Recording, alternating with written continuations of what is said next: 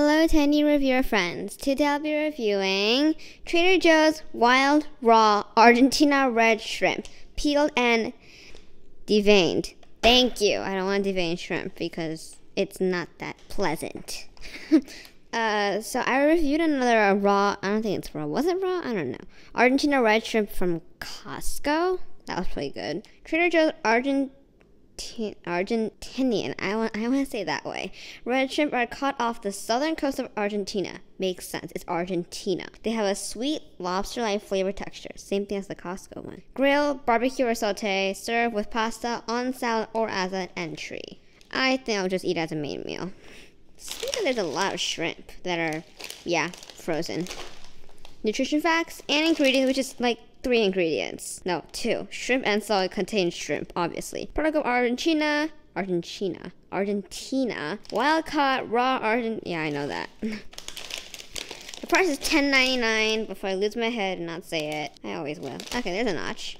And it's unlike the other flimsy plastic wrappers, they open quite easily. It took me two seconds to do it though. Alright, I'm not gonna rip it off because it'll take forever. That's the shrimp. We're gonna cook four, and I'm gonna taste it because I don't want to cook these 24 million shrimp. So I'll meet you at the kitchen. We cooked four of them. There's no sauce. My dad cut half, one of them in half to see if it was fully cooked and to let the heat out. I'm gonna taste the cut in half one. It looks pretty good to me. Hey.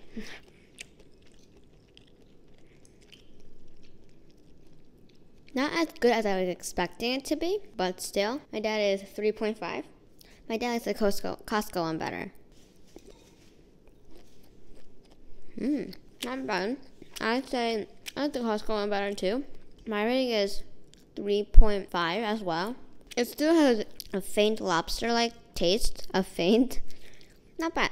Kind of bland. I would recommend putting like a sauce or eating with a sauce it's kind of bland without anything. I just taste it without anything because if I add the sauce, I will not be able to taste the real flavor of the shrimp.